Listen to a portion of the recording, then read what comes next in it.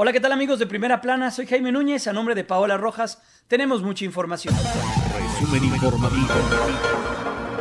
El juzgado primero de distrito en el estado de Aguascalientes resolvió dar libertad provisional bajo caución al exgobernador de Aguascalientes, Luis Armando Reynoso Femat. En un comunicado, el Consejo de la Judicatura Federal informó que el delito que se le imputa es el de defraudación fiscal equiparable previsto en el artículo 109, fracción quinta y sancionado por el artículo 108, fracción tercera.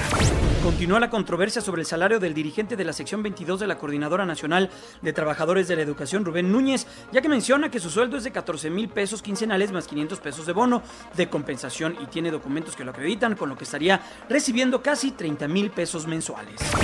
Por otra parte, alrededor de 1.500 integrantes de la Coordinadora Nacional de Trabajadores de la Educación marcharon de las inmediaciones del Auditorio Nacional rumbo a la Secretaría de Gobernación como protesta contra la reforma educativa. El gobierno del Estado de México solicitó la alerta de género para 11 municipios de la entidad. El gobernador Erubiel Ávila reconoció que existe un problema al que se le debe dar respuesta. El coordinador nacional de protección civil Luis Felipe Puente informó que el volcán de Colima entró en una fase de actividad permanente, lanzando material incandescente por lo que se activaron los protocolos preventivos.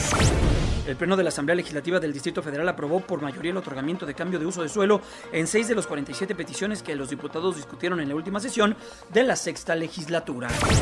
En Michoacán, nuevamente por falta de seguridad, se suspendió la aplicación de prueba en Oaxaca y también allá, en la entidad. Recordemos que del 11 al 19 de julio está previsto se lleve a cabo esta acción que servirá para la asignación de plazas en educación básica.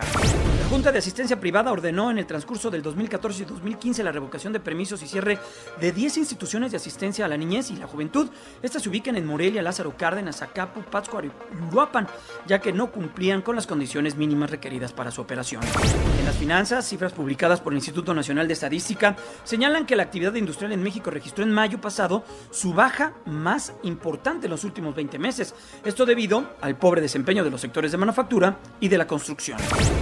En los mercados en Nueva York, el índice industrial Dow Jones ganó el 1.21%, el Nasdaq gana el 1.53%. En México, la bolsa sube el 0.79%, el dólar se compra en 15 pesos con 42 centavos, se vende en 16 pesos con 2 centavos. La vuelta al.